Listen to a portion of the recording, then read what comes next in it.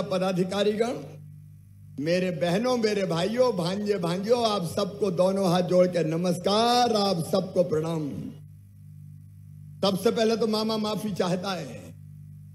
आने में मैंने बहुत देर कर दी। गुस्सा तो नहीं हो? अरे, भोपाल में एयर शो था आज।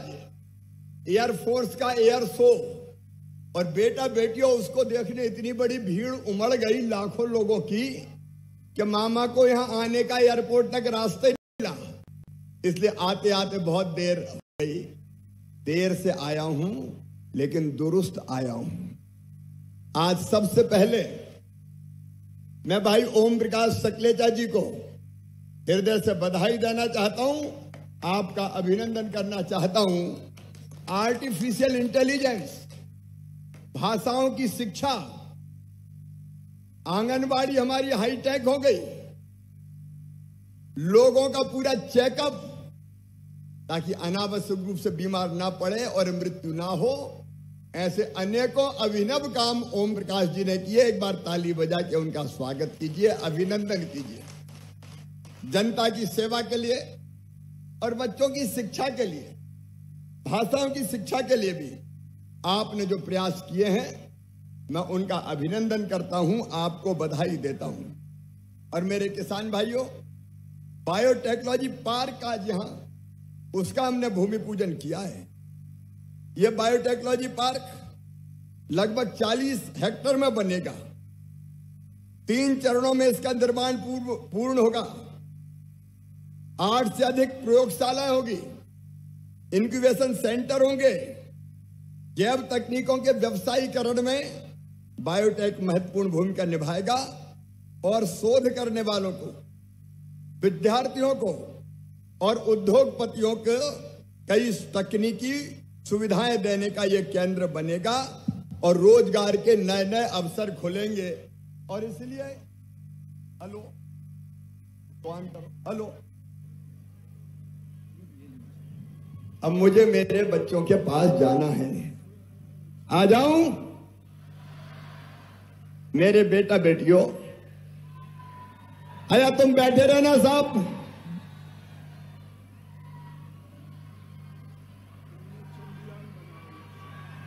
ये चंद्रयान वाले मेरे बच्चे बैठे हैं, तुम्हारा भी अभिनंदन, प्रधानमंत्री जी का भी अभिनंदन। चंद्रयान कैसे चंद्रमा पर उतर रहा है? मेरे बेटा बेटियों, मेरी बात जरा ध्यान से सुनो। एआई की पढ़ाई कौन कौन ने की? जरा हाथ उठाओ। अब हाथ नीचे करो। अंग्रेज़ी कौन कौन को आती? है जरा हाथ उठाओ। अब हाथ नीचे करो। लैपटॉप कौन कौन को मिला? है जरा हाथ उठाओ।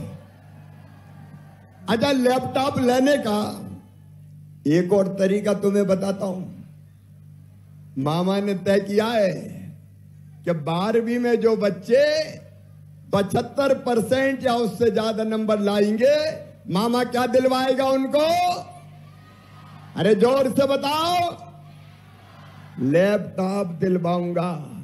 और अगली बार सोच रहा हूँ कि पचहत्तर से भी थोड़ा परसेंट नीचे ले आऊँ। लाना चाहिए कि नहीं?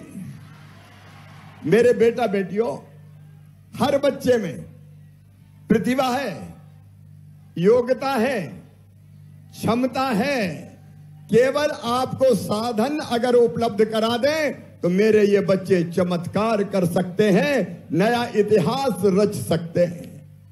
स्वामी विवेकानंद कहते थे, स्वामी विवेकानंद कहते थे, तुम केवल साढ़े तीन हाथ के हाड़ मास के पुतले नहीं हो, तुम अमृत के पुत्र हो ईश्वर के अंशों, अनंत शक्तियों के भंडार हो, और दुनिया में कोई काम ऐसा नहीं कि जो तुम ना कर सको। हमारे बच्चे बड़े से काम कर सकते हैं। ये लैपटॉप चलाने वाले मेरे बच्चे, मैं इन बच्चों का अभिनंदन करता हूँ। मेरे बेटा बेटियों, हमारी कोशिश है कि सरकारी स्कूलों के बच्चों को भी पढ़ाई में कोई दिक्कत ना आए। और इसलिए हमने तय किया, पांचवी पास करके छठवीं, अगर दूसरे गाँव बच्चे जाते हैं तो मामा साढ़े चार हज़ार रुपया साइकिल के खाते में डालते हैं। आठवीं पास करके नौवीं में जाते हैं तो भी साढ़े चार हज़ार रुपया। और बारहवीं में अगर अपने स्कूल में सबसे ज़्यादा नंबर लाए कोई बेटा या बेटी तो मामा क्या दिलवाते हैं? अरे ज़ोर से बताओ। अभी तो एक एक बेटा और बेटी को स्कूटी दिया था। अगले साल से तीन तीन बेटा और बेटियों को स्कूटी दी जाएगी। अच्छा ये मैं क्यों कर रहा हूँ?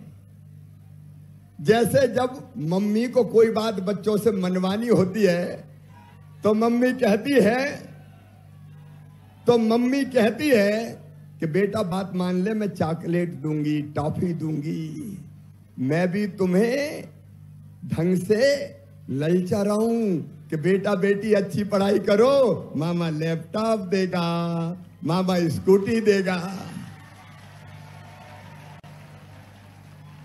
ये मैं इसलिए कर रहा हूँ कि बच्चों में स्वस्थ प्रतिस्पर्धा हो और वो कहें कि मामा से लैपटॉप लेना मैं तो खूब पढ़ाई करूँगी, मैं खूब पढ़ाई करूँगा। बोलो, खूब पढ़ाई करोगे? कौन कौन लैपटॉप लोगे? जरा हाथ उठाओ बारहवीं में। और इतने लैपटॉप बांट पड़ेंगे। तो लैपटॉप बांटते बांटते हाथ थक जाएँगे, लेकिन कितने बांटने पड़े? तुम अच्छे नंबर लाओ, मामा लैपटॉप दिलवाएँगे। और स्कूटी कौन कौन लेगा? स्कूटी भी सब लोगे तो चलो स्कूटी भी दिलवाएँगे। लेकिन एक बात और सुनो। ओपी सकलेचा जी ने भाषाओं की शिक्षा भी दिलवाई है, एआई की शिक्षा भी दिलवाई है, लैपटॉप भी उपलब्ध करवाए हैं। और उनने अभी बताया कि मेडिकल कॉलेज में एडमिशन हमारे गरीब बच्चों के भी हो रहे हैं। सुनना मेरे बेटा बेटियों ध्यान से सुनना। अगर तुम्हारी मेहनत से तुम्हारा एडमिशन मेडिकल कॉलेज में होगा, इंजीनियरिंग कॉलेज में होगा, आईआईटी में होगा, प्रतिष्ठित लॉ कॉलेज में होगा, और किसी उच्च शिक्षण संस्थान में होगा तो मम्मी पापा भी सुन लेना। फ़ीस बहुत ज़्यादा होती है। प्राइवेट मेडिकल कॉलेज की फ़ीस है बारह तेरह लाख रुपया हर साल। पाँच साल तक बारह तेरह लाख रुपया देना। बताओ, किसान के बेटा बेटी दे सकते हैं क्या? गरीब के बेटा बेटी दे सकते हैं क्या? तो क्या करना चाहिए?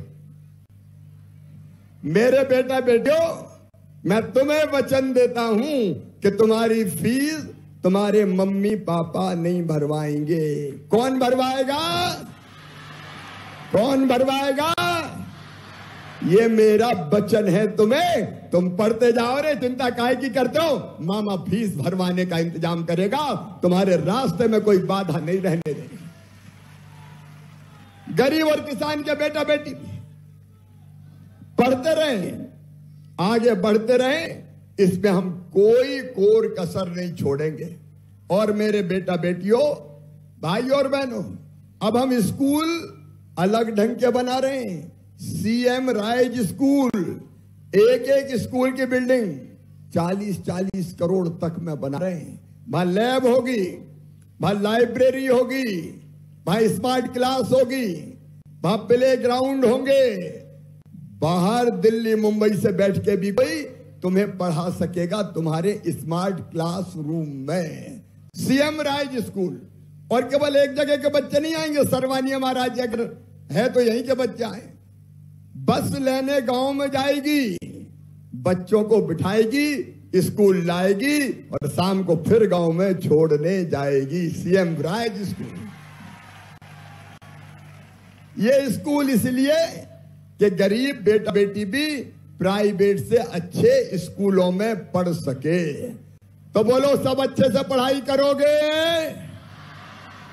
थोड़ी मस्ती भी कर सकते हो। खेल भी सकते हो, खेलना भी चाहिए। और मम्मी पापाओं से कह रहा हूँ कि भैया, बच्चों को ज़्यादा डांटा माटा मत करो यार भांजे भांजी हमारे। थोड़ा प्यार से नहीं तो सवेरे से शाम पढ़ पढ़ पढ़ पढ़, खेलने कूदने नहीं देते। तो पढ़ने के समय पढ़ो, खेलो कूदो और आगे बढ़ाने की जवाबदारी भारतीय जनता पार्टी की सरकार की है। सकलेचा जी जैसे एमएलए हमारे, सुधीर जी जैसे सांसद करेंगे। और मामा तो तुम्हारे लिए ही है। अगर तुम ढंग से पढ़ गए तो मेरा मुख्यमंत्री बन के बनना सार्थक हो बच्चों की ज़िंदगी बदलने का अभियान। और मेरे किसान भाइयों, इस बायोटेक्नोलॉजी पार्क से यहाँ की पूरी अर्थव्यवस्था बदलेगी। आपको आधुनिक टेक्नोलॉजी मिलेगी। अलग अलग तरह के प्रयोग होंगे। और हमारे उद्योगपति भाई आए और बहन, वो यहाँ नए नए उद्योग लगाएँगे। जिससे नए रोज़गार के अवसर पैदा होंगे। ये टेक्नोलॉजी पार्क इस इलाके की हालत बदल के रख देगा। अब यहाँ आंगनबाड़ी तो हाईटेक हो गई है। नीमच की हमारी मंडी सबसे बड़ी मंडी है। इसको भी किसान भाइयों हाईटेक मंडी के रूप में बदला जाएगा। आप चिंता मत करना। जावत की जावत की। सकलेचा जी घबरा गए, कहने लगे, ये तो जावत वाली मंडी पड़ती है। ठीक है जावत की। अब नीमच वालों को भी निराश नहीं करेंगे, भाभी कुछ ना कुछ करेंगे, भाई चिंता मत करो। और एक बात और, बताओ सूखी खेती किसी काम की है क्या? पानी चाहिए कि नहीं? तो मेरे किसान भाइयों जावद नीमच माइक्रो इरिगेशन योजना हम मंजूर करने वाले हैं। ताकि आपके खेतों में पानी पहुँचा सकें। और मुझे पक्का विश्वास है कि मंडी, पानी अगर आएगा तो किसान मेहनत से इस इलाके की तस्वीर भी बदलेंगे और अपनी तकदीर भी बदल के रख देंगे, अपनी तकदीर भी बदल के रख देंगे।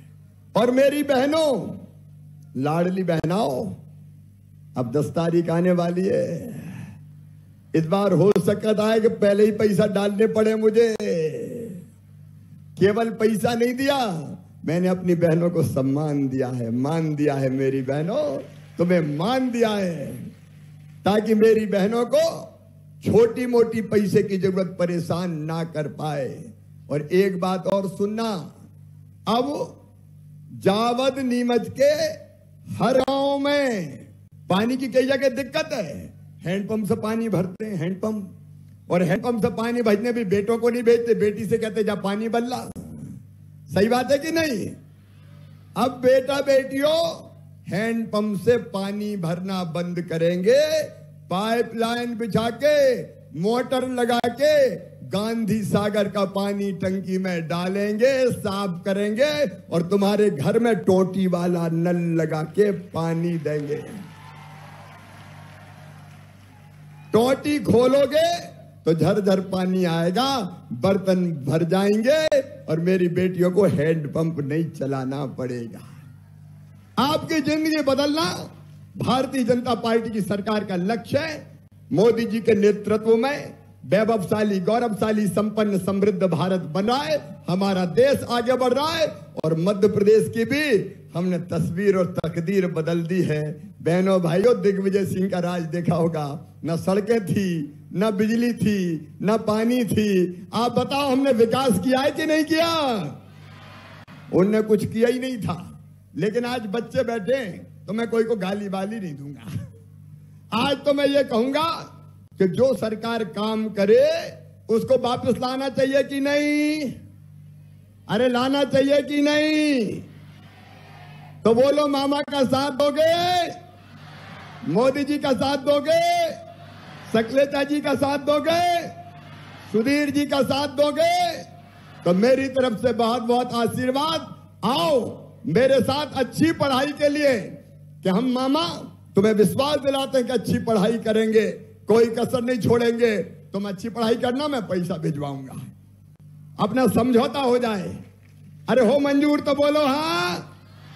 तो उठाओ दोनों हाथ और बांधो दोनों मुट्ठी। और भारत माता की जय बोल के तुम अच्छी पढ़ाई का संकल्प लो और मामा तुम्हारी पढ़ाई में बाधा नहीं आने देगा। ये संकल्प लेगा, जो भी व्यवस्था